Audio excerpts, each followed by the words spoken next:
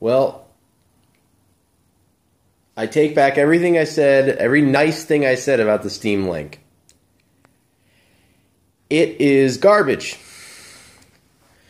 The Steam Link has no recovery mode, no way of recovering. I did a factory reset because it was an instruction for ins- uh, for ex- uh, for accepting beta builds of the Steam Link's OS.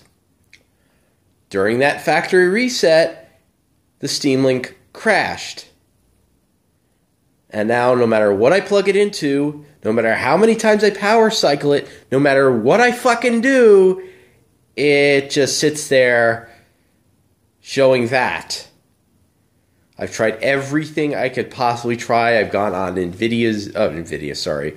No, this is Valve. I've gone on Valve's friggin' um, on their website, went through all their troubleshooting shit, and I've asked on forums. Nobody really responds. There is no way, shape, or form to restore this thing unless you are booted into the software to do the factory reset that caused my device to crash and brick.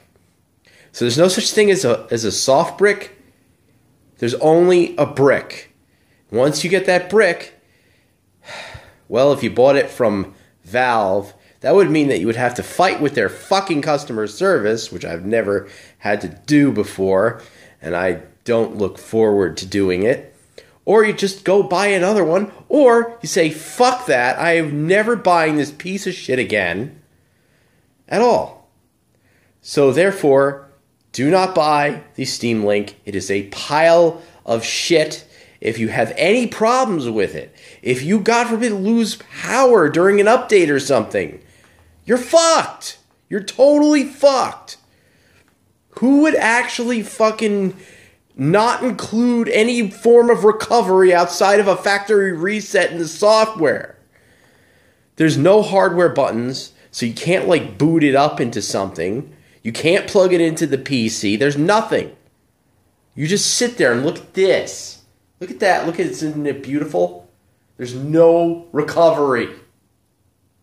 The Steam Link is shit.